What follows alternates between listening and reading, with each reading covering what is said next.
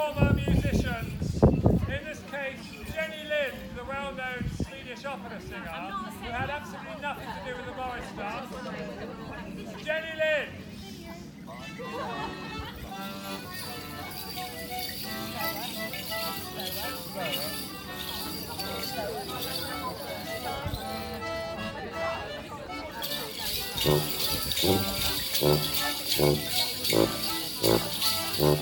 Uh...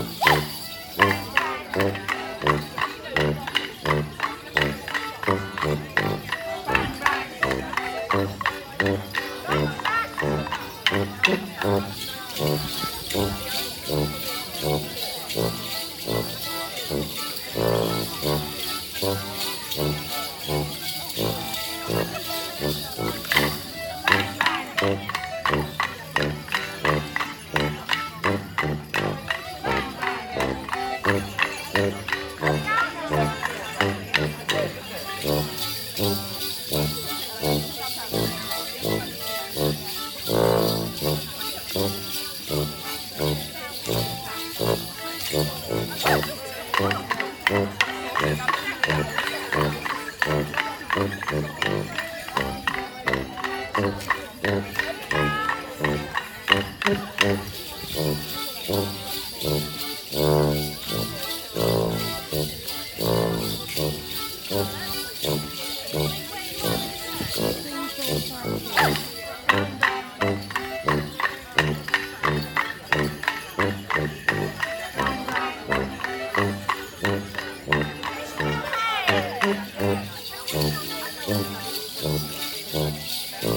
Oh.